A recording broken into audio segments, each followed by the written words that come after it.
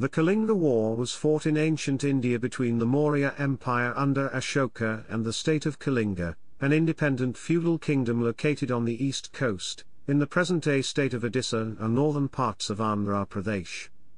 It is presumed that the battle was fought on Dhauli Hills in Dhauli which is situated on the banks of Daya River.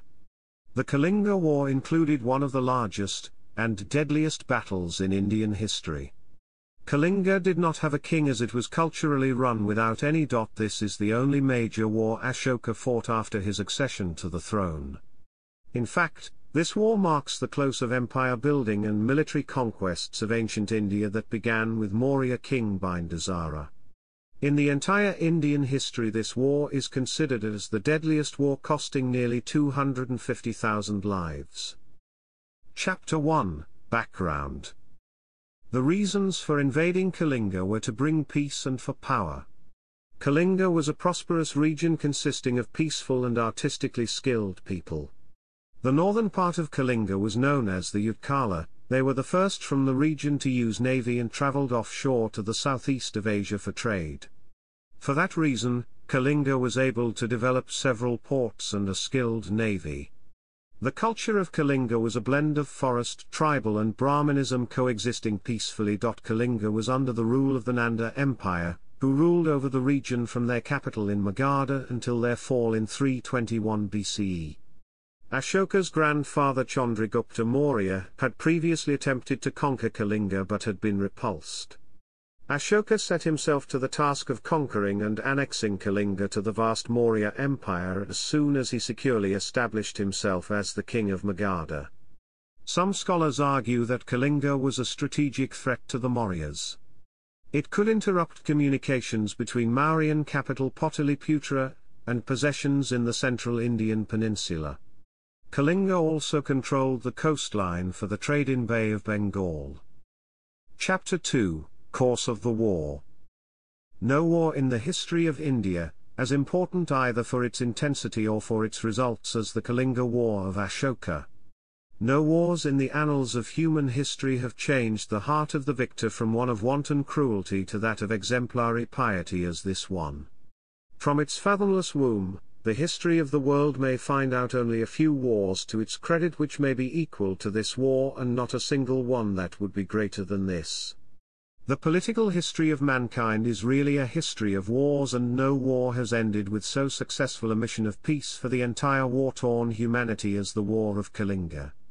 The war was completed in the eighth year of Ashoka's reign, according to his own edicts of Ashoka, probably in 261 BCE. After a bloody battle for the throne following the death of his father, Ashoka was successful in conquering Kalinga, but the consequences of the savagery changed Ashoka's views on war and led him to pledge to never again wage a war of conquest. According to Megasthenes, the Greek historian at the court of Chandragupta Maurya, the ruler of Kalinga had a powerful army comprising infantry, cavalry and elephants.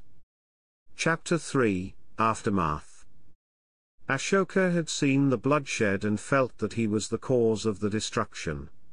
The whole area of Kalinga was plundered and destroyed. Some of Ashoka's later edicts state that about 150,000 people died on the Kalinga side and an almost equal number of Ashoka's army, though legends among the Odia people, descendants of Kalinga's natives, claim that these figures were highly exaggerated by Ashoka.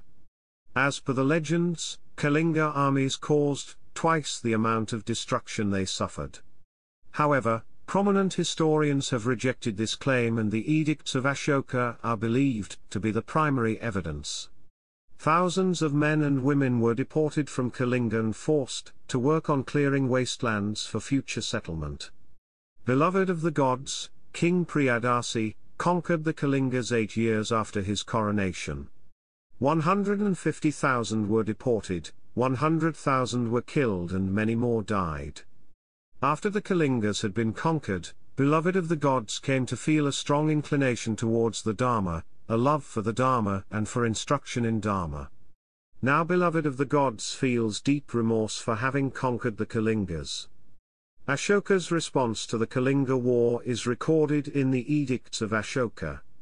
The Kalinga War prompted Ashoka, already a non-engaged Buddhist, to devote the rest of his life to Ahimsa, and to Dharma Vijaya. Following the conquest of Kalinga, Ashoka ended the military expansion of the empire and began an era of more than 40 years of relative peace, harmony, and prosperity.